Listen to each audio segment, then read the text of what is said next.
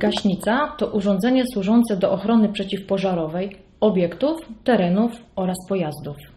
W gaśnicy za pomocą ciśnienia wewnętrznego wyrzucamy środek gaśniczy i kierujemy go na źródło ognia. Gaśnicę dzielimy na dwie kategorie ze względu na budowę i masę gaśnicy gotowej do użycia.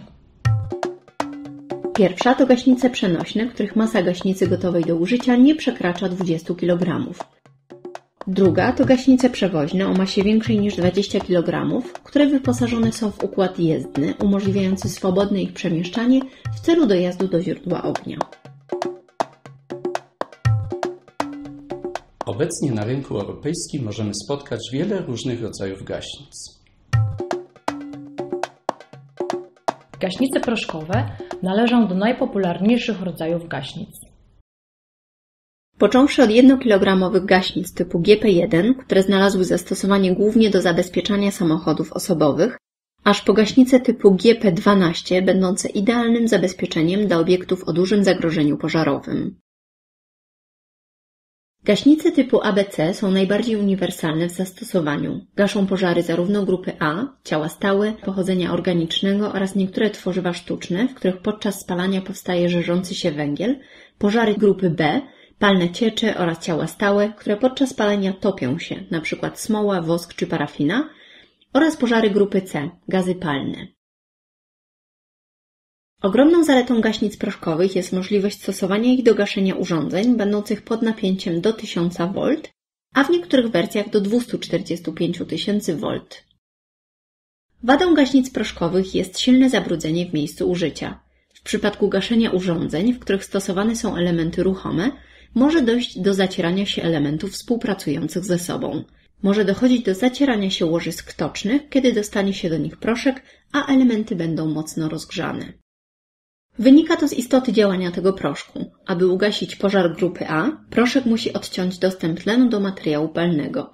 Odbywa się to za pomocą zdolności tego środka do tworzenia powłoki stanowiącej izolację od powietrza. Jednak w trakcie gaszenia głównie zależy nam na skuteczności działania gaśnicy. Jeżeli nie ugasimy pożaru w zarodku, to rozwój pożaru spowoduje o wiele większe szkody niż uboczne działanie proszku gaśniczego. Gaśnice, w których zastosowano środek gaśniczy na bazie wody, nazywamy wodnymi, pianowymi lub płynowymi. Są to gaśnice głównie do gaszenia pożarów grupy A i B, jak również do specyficznej grupy pożarów typu F, czyli pożarów olejów i tłuszczów jadalnych w urządzeniach kuchennych. Obecnie ten rodzaj gaśnic rozwija się coraz bardziej, między innymi ze względu na możliwość ich zastosowania w temperaturach ujemnych. Zaletą gaśnic na bazie wody jest dobra skuteczność do gaszenia cieczy palnych, możliwość tworzenia piany oraz miejscowe działanie środka gaśniczego. Ma to istotne znaczenie w takich obiektach jak szkoły, przedszkola, restauracje, szpitale i tym podobne. Istnieją także gaśnice ze środkiem na bazie wody, którymi możemy gasić bezpiecznie urządzenia elektryczne zasilane do 1000 V. Wadą gaśnic na bazie wody jest to, że nie wszystkie możemy stosować do urządzeń będących pod napięciem. Nie wszystkie także mogą być stosowane w temperaturach ujemnych. Nowy rodzaj w tej grupie stanowią gaśnice na mgłę wodną. To absolutna nowość na rynku. Gaśnica w 100% ekologiczna, wykorzystano w niej jako środek gaśniczy wodę zdemineralizowaną. Poprzez specjalną konstrukcję układu wylotowego uzyskano gaśnicę mogącą gasić zarówno urządzenia będące pod napięciem, jak również ciała stałe, oleje i tłuszcze jadalne w urządzeniach kuchennych. To nowatorskie rozwiązanie pozwoliło na zastosowanie tej gaśnicy w wielu sytuacjach. Począwszy od gospodarstw domowych poprzez szkoły, biura, kościoły, przychodnie zdrowia, szpitale, hotele, archiwa, muzea, biblioteki i tym podobne. Jest to jedyna gaśnica, którą możemy skutecznie gasić osoby będące w płomieniach, bez szkody dla osób ratowanych. Jej skuteczność została potwierdzona w Centrum Naukowo-Badawczym Ochrony Przeciwpożarowej w Józefowie. Gaśnice na dwutlenek węgla, popularnie zwane śniegowymi, to specyficzne gaśnice ze względu na ich konstrukcję. Zarówno środek gaśniczy, jak i czynnik wyrzutowy stanowi dwutlenek węgla. Mogą być stosowane do gaszenia tylko pożarów grupy B. Zaletą tych gaśnic jest to, że są czyste, czyli po użyciu nie pozostawiają zanieczyszczeń, tak jak pozostałe gaśnice. Zestalony dwutlenek odparowuje, nie pozostawiając śladów.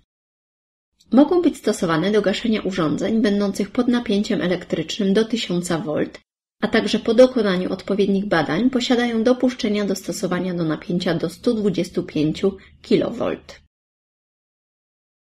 Wadą tych gaśnic jest fakt, że gdy zastosujemy je do gaszenia rozgrzanych urządzeń elektronicznych, może dojść do tzw. szoku termicznego, ponieważ temperatura czynnika gaszącego wynosi minus 78 stopni Celsjusza.